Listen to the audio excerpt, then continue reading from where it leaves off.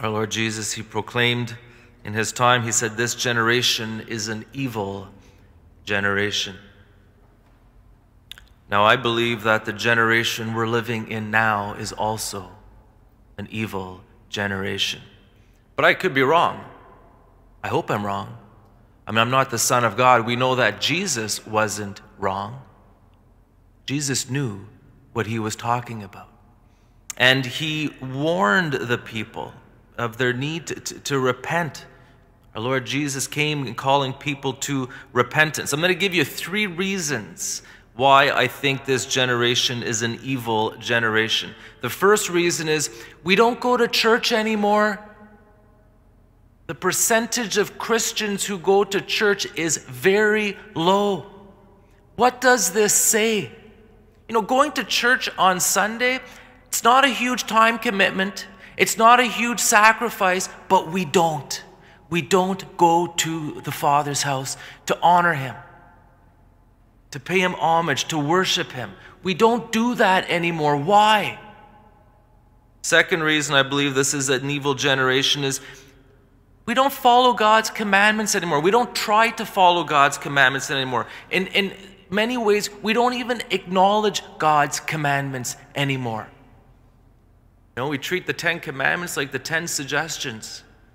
The third reason I think this is an evil generation is that I, I'll point to John the Baptist. John the Baptist was killed. He got his head chopped off because he speaked out against Herod's unlawful marriage.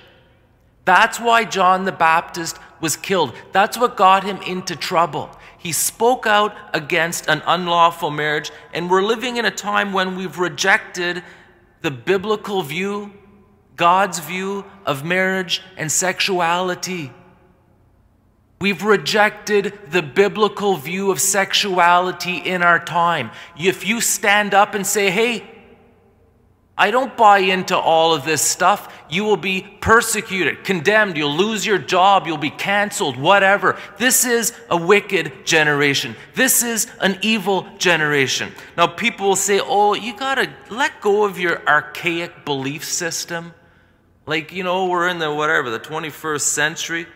Stop being such a superstitious, uneducated peasant. Give up your Catholic things. Listen, the Lord Jesus, He said, the queen of the south, she'll rise up. And one day the people of Nineveh, they'll rise up. We're living in a time of great signs and wonders. The Lord is giving us signs to believe. How many of you have heard of Blessed Alexandrina da Costa, the mystic from Portugal? She died in 1955. She was beatified by John Paul II.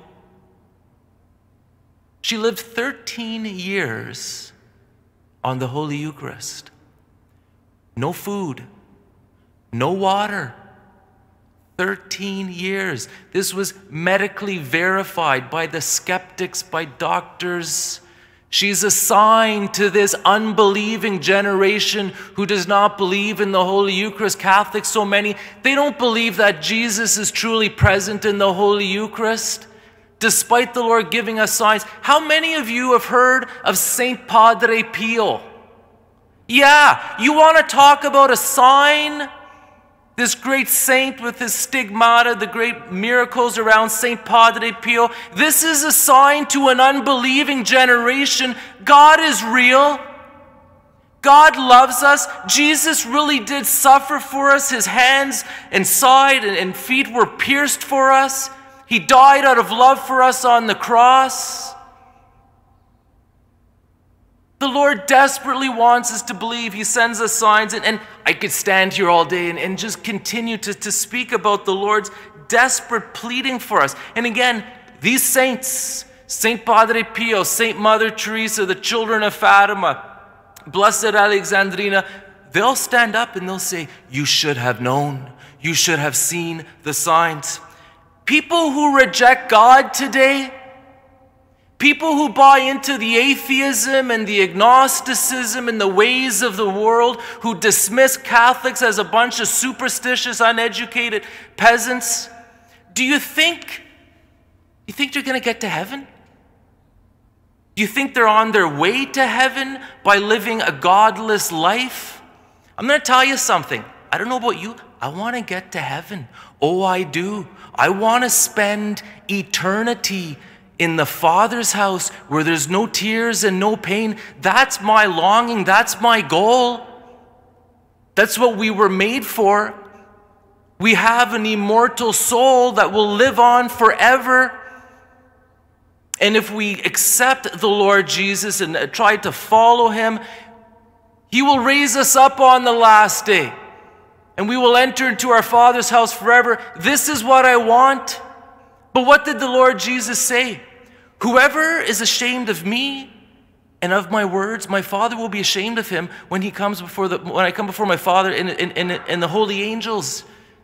Do you think this unbelieving generation who's bought into the atheism and the agnosticism and the ways of the world, do you think they're on their way to heaven? I don't think they are. And I'm not afraid to say it.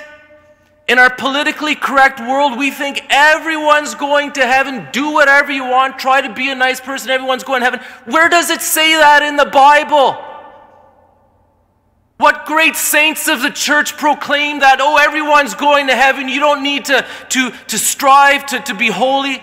That's never been said in the last 2,000 years. So why does everyone believe this today?